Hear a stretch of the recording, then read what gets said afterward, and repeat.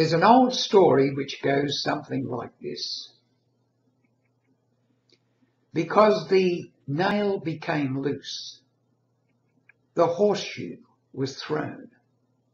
Because the horseshoe was thrown, the horse became lame. Because the horse became lame, the rider could not deliver his message.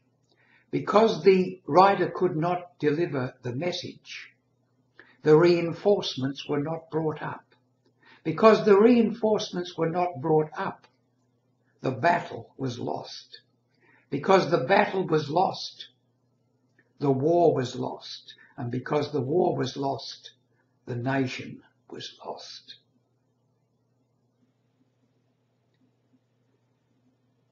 Little things can make a big difference and there's one big difference, I believe, was made, if we can believe Alan Watts' talk about the misinterpretation of two little words, or one little word, in the New Testament of the Christian Bible.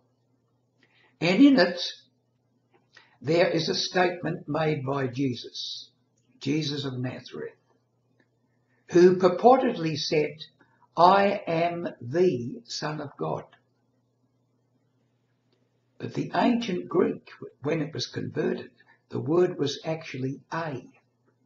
Single letter A, not three letters T-H-E.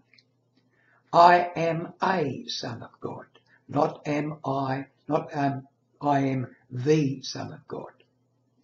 Big difference. Big, big, big difference. A whole religion handed down with millions of people believing that one word, the, when it could have been a. What is the truth here? Was it a or was it the?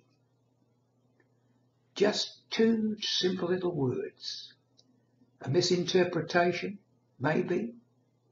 Perhaps. Makes all the difference to way we as individuals see our own lives in relation to the universe, and to God, whatever we believe God to be.